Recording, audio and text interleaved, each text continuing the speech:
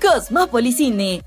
Las noticias en el mundo cinematográfico nunca se detienen y las sorpresas para los fanáticos del séptimo arte tampoco lo hacen. Sabemos que te gusta mantenerte al tanto de todo lo que ocurre con tus cintas favoritas. Es por esto que en Cosmópolis Cine presentamos Impactante, lo nuevo de Thor Ragnarok. Además, nueva cinta de Batman, Superman y Star Wars. 80 aniversario de Batman.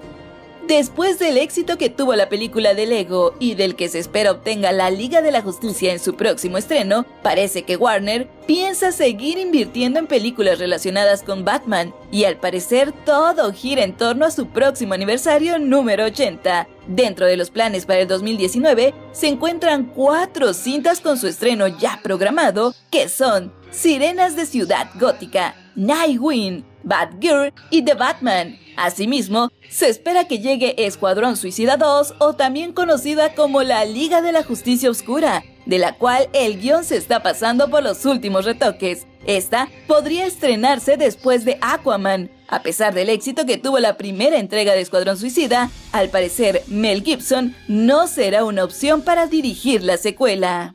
El auténtico Superman.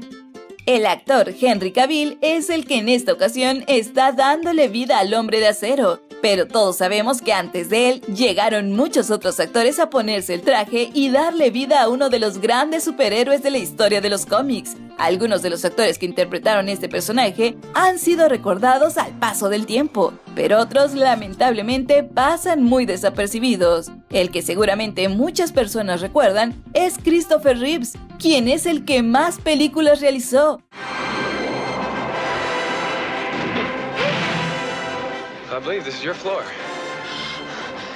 Entre los años de 1978 a 1987, filmó cuatro cintas con el traje que se ha vuelto tan distintivo convirtiéndose en una reliquia simbólica en el cine. Pero algo que pocos saben, y como dato curioso, es que antes de que el director Zack Snyder confirmara a Henry como el nuevo Superman, decidió realizar una prueba de pantalla, la cual era comprobar cómo quedaba en cámara el actor elegido con las características del personaje. Pero como aún no se tenía confeccionado el traje que éste utilizaría, decidieron vestirlo con el traje de Christopher Reeves utilizado hace ya tantos años. Cuando el equipo de producción lo vio, dijeron, tú eres el nuevo Superman. El director ha usado la aplicación Vero para publicar este viernes una fotografía que él mismo tomó del actor Henry Cavill en su primera audición con el clásico vestuario de Christopher y aunque la calidad no es la mejor, sí nos trajo muchos recuerdos.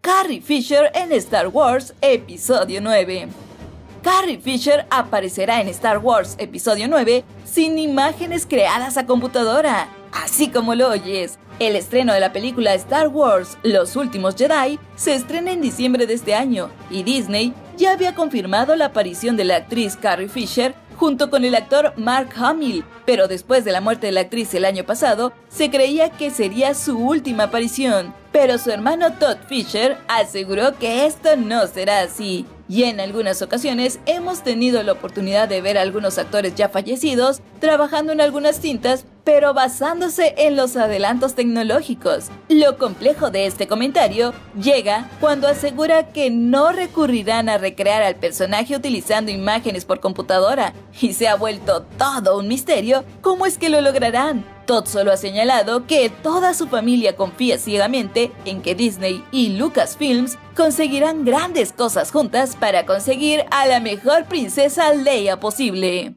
Por último, ya sabemos más de Thor Ragnarok, pues sucede que Marvel decidió que la semana tenía que comenzar súper emocionante y lanzó el tráiler de Thor Ragnarok, tercera cinta individual del Dios del Trueno, la cual llegará a las salas de cine el 3 de noviembre del 2017. En sus casi dos minutos de duración, inundados de acción, humor y muy buena música, el adelanto nos muestra a la temible villana. Y es que según vemos a Thor, interpretado por Chris Hemsworth, enfrentarse a Ella, interpretada por Kate Blanchett, quien se hace del martillo del superhéroe y lo destruye, A partir de entonces, las cosas no le irán muy bien al guerrero asgardiano, pero lo que pocos saben es que su adversario será Hulk o Bruce Banner, interpretado por Mark Ruffalo, y que como vimos en el tráiler, será con quien tendrá que pelear en una lucha encarnizada en una mortal competencia de gladiadores.